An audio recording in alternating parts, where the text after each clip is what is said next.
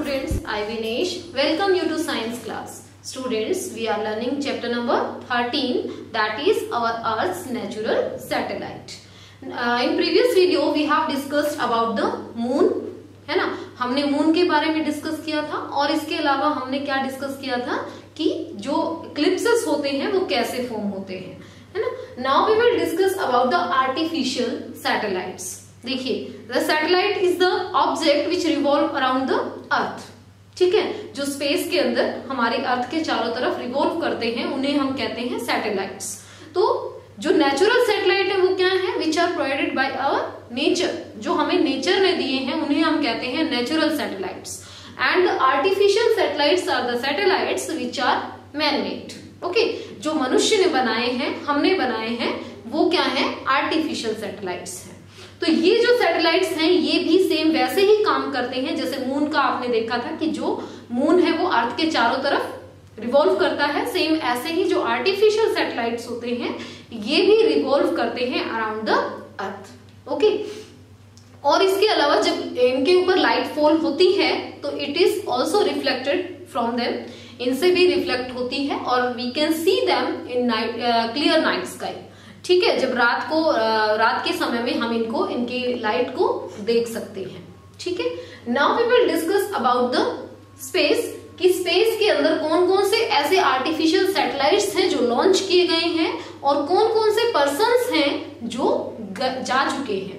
ठीक है? उनके बारे में एक बार देख लेते हैं। तो देखिए, सबसे पहला जो सैटेलाइट था मींस जो स्पेस एज है it was it starts from 1957 जब सबसे पहला सैटेलाइट लॉन्च किया गया था, किसके द्वारा? रशिया के द्वारा। Okay Russia has launch first manmade satellite that was known as Sputnik one जिसका नाम था, इस सैटेलाइट का नाम था ये स्पुटनिक वन और ये जो सैटेलाइट है, ये रशिया ने लॉन्च किया था कब? इन 1957 ठीक है? और उसके बाद थाउज़ेंड सैटेलाइट लॉन्च किए गए।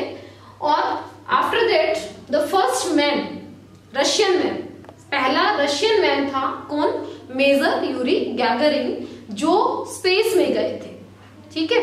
ये पहले ऐसे व्यक्ति थे जो स्पेस में गए थे। कब गए थे ये स्पेस में? They went on April 12 1961 okay अब फ़र्स्ट वुमेन कौन थी जो स्पेस में गई थी? ठीक है? फ़र्स्ट वुमेन अब देखिए ये रशियन के साथ साथ ये वर्ल्ड में भी फ़र्स्ट थे। ओके ये वर्ल्ड में भी फ़र्स्ट मैन थे जो स्पेस में गए थे। Now we will discuss about the women first women who go to space जो स्पेस में गई थी she was Valentina sorry Valentina Tereshkova okay तो ये भी स्पेस में गई थी फ़र्स्ट वुमेन थी। नेक्स्ट uh, इज़ अब हम इंडियन की बात करते हैं कि इंडिया से कौन uh, कौन से व्यक्ति थे पर्सन थे जो सबसे पहले स्पेस में गए थे? He was squadron leader Rakesh Sharma. Okay ये स्पेस में गए थे 3 अप्रैल 1984 को। ओके उसके बाद फ़र्स्ट वुमेन इंडियन वुमेन जो स्पेस में गई थी आप सभी जानते होंगे इनके बारे में कल्पना चावला जो सबसे पहले स्पेस में गई थी फ़र्स्ट इंडियन वुमेन थी। उसके बाद देखिए, कुछ इंडिया ने भी सैटेलाइट्स लॉन्च किए।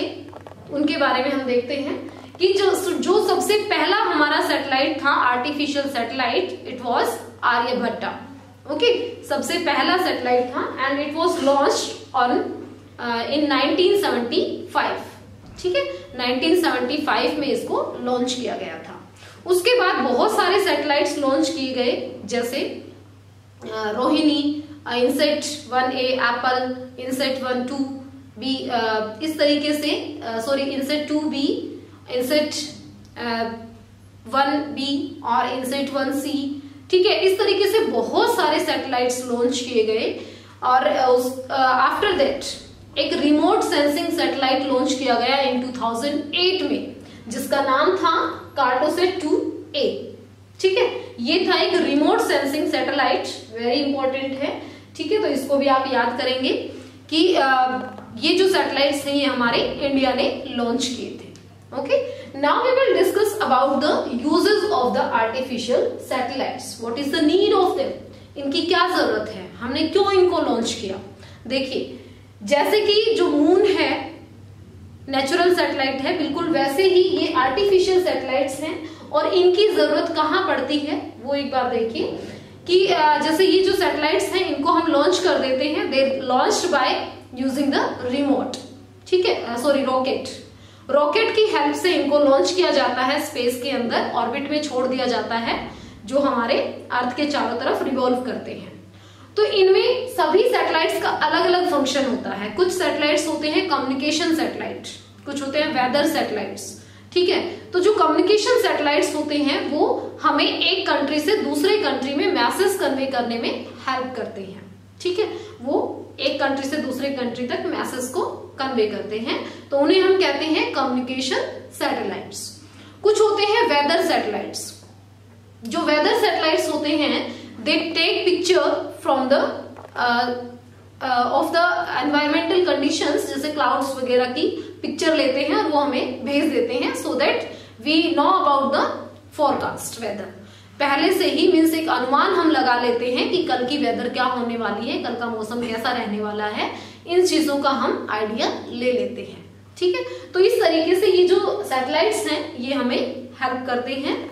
इसके अलावा हम आ, स्पेस में ट्रेवल करते हैं। देखिए स्पेस में चलते हैं। कि स्पेस में बहुत सारे पर्सन गए जैसे राकेश शर्मा कल्पना चावला, सुनीता विलियम्स, है ना, ये सभी स्पेस में गए, ये सभी एस्ट्रोनॉट्स तो इनसे जो यंग वंस हैं युवा हैं उनको इंस्पिरेशन मिलती है, वो भी मीन्स जाने के लिए इच्छुक होते हैं कि हमें भी स्पेस में ट्रेवल करना है, जाना है। आप सभी भी सोच रहे होंगे कि स्पेस में क्या क्या चीज़ें हैं ऐसी, हमें भी देखना है, आपके अंदर भी क्यूरियोसिटी होगी, है ना? तो इस तरीके से इन सभी से हमें इंस्पिरेशन मिलती हैं स्पेस में जाने के लिए। अब स्पेस में क्या होते हैं? स्पेस स्टेशन होते हैं। ठीक है, पहले क्या होता था कि यहाँ पे टेलीस्कोप्स होते होते थे जिनकी हेल्प से, अभी भी है बट अब और ज़्यादा एडवांस टेलीस्कोप्स डेवलप हो गए हैं। ठीक है? तो जो टेलीस्कोप्स थे, वो यहाँ से स्पेस की क्लियर पिक्चर हमें देते थे, जिससे हम आइडिया लगा लेते थे पर्टिकुलर व्यू हम देख पाते थे डिटेल्स वगैरह हमें वहाँ से मिल जाती थी। ठीक है? और नाव जो टेलीस्कोप्स हैं, आजकल जो टेलीस्कोप्स हैं, वो स्पेस के अंदर फ्लोट कर सकते हैं। और वो वहाँ से बहुत ज़्यादा अच्छी क्लियर हम पिक्चर हमें देते हैं, जिससे हम स्पेस की चीज़ों के बारे में पता लगाते हैं। ठीक है? तो ऐसे ही कुछ और भी चीज़ें हैं कि स्पेस के अंदर जब हम जाते हैं, जो एस्ट्रोनॉट्स जाते हैं they wear a special space suit जिसमें क्या होता है, क्योंकि आपको पता है there is no air in the space space के अंदर एयर नहीं होती है। ठीक है? तो बॉडी को कंफर्टेबल फील कराने के लिए they wear a special space suit जो उनकी बॉडी के चारों तरफ़ एक एटमोस्फेयर क्रिएट करता है, ठीक है? और so that they can float in the space तो वो वहाँ पे अपना मीन्स सभी का अलग अलग काम होता है। कुछ स्पेस के स्पेस क्राफ्ट के अंदर काम करते हैं, कुछ स्पेस क्राफ्ट के बाहर काम करते हैं। ठीक है? उन सभी को अलग अलग फ़ंक्शन दिया जाता है, काम किया जाता है, दिया जाता है। और एस्ट्रोनॉट्स को बहुत ज़्यादा हार्डवर्किंग करनी पड़ती है। बहुत ज़्यादा मेहनत करनी पड़ती है तब जाके वो स्पेस में पहुँचते हैं। After that after completion of their task और मिशन जब मिशन कंप्लीट हो जाता है they come back into the space shuttles वापस से आ जाते हैं। और जो uh, ये है rockets rockets can be use only one time rockets का यूज़ कहाँ किया था हमने? Rockets are use to launch a satellite ठीक है एक सैटेलाइट को लॉन्च करने के लिए रॉकेट का यूज़ किया जाता है और उसको एक बार ही हम यूज़ कर सकते हैं। लेकिन जो स्पेस सटल्स होते हैं they can be use again and again ठीक है? तो इस तरीके से ये थी हमारी space travel. Students I think you have understood all these things if you have any doubt you can contact me thank you